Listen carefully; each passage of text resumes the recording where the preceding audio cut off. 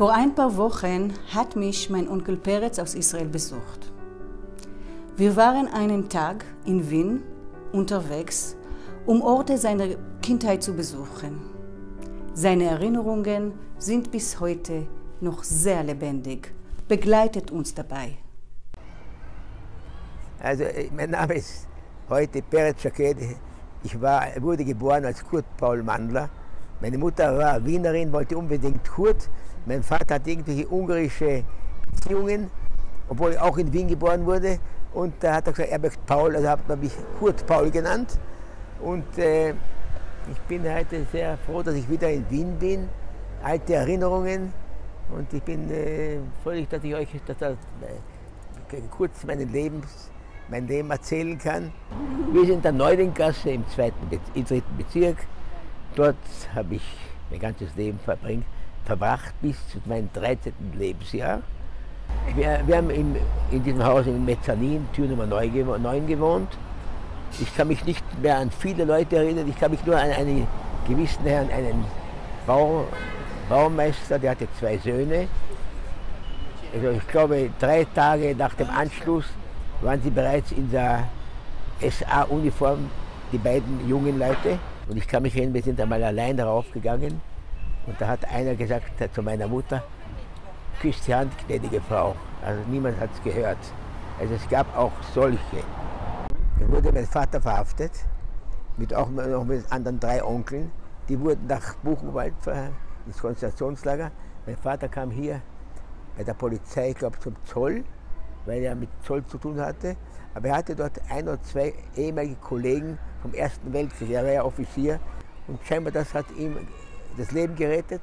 Und nach drei Tagen kam er unrasiert nach Hause. Also er hatte Glück. Äh, wir sind in der Sechs-Krügelgasse. Das war in meiner Zeit die Volksschule.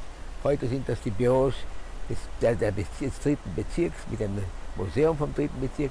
Damals war das meine Volksschule vom ersten bis der vierten Klasse.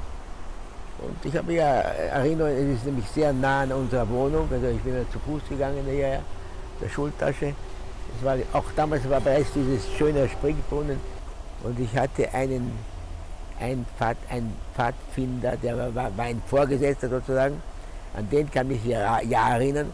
Er hat nämlich mit meiner Schwester angefangen, ange, angebandelt mit meiner Schwester. Und durch mich wollte er selber zu ihr gelangen. Und den, den, mit dem habe ich Verbindung bis heute noch. Der wohnt in Israel. Der ist jetzt 96 Jahre alt, chauffiert noch immer. Und mit dem treffe ich mich manchmal, um so Erinnerungen auszutauschen. Also wir sind ganz zufälligerweise, hat uns jemand von draußen gesehen und hat uns eingeladen. Und so sind wir jetzt in, der, in dieser Klasse, die ich 80 Jahre nicht gesehen habe, 79 Jahre, das ist die Klasse, von wo meine Schultasche von diesem Fenster herausgeworfen wurde. Also es ist unglaublich. Es hat sich nämlich nicht viel geändert. Natürlich Tische und das ist ganz alles ganz neu, ganz anders. Aber ich kann mich auch erinnern, jeder hat aufgehängt seine Mantel da äh, an Haken. Ich kann mich auch erinnern an den Wasserhahn. Ich glaube, der war dasselbe. Vielleicht oben der Hahn nicht, aber unten das Labor war genau dasselbe. Und draußen hatten wir keine, jeder hatte kein einzelnes Fach, sondern jeder hatte seine Schultasche unter dem Tisch und so weiter. Also von hier, von diesem Zimmer, haben die Nazis gegrölt, Saujud, gehen nach Palästina. Und das habe ich auch gemacht. Und dann bin ich nach Palästina gegangen, wo ich die letzten 79 Jahre wohne und lebe.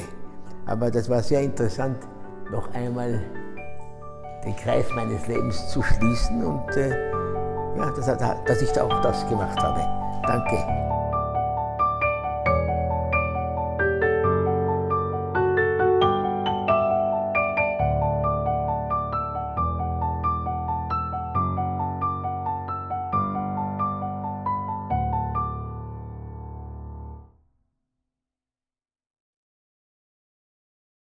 Irgendwas regelt, irgendein Unsinn, fertig.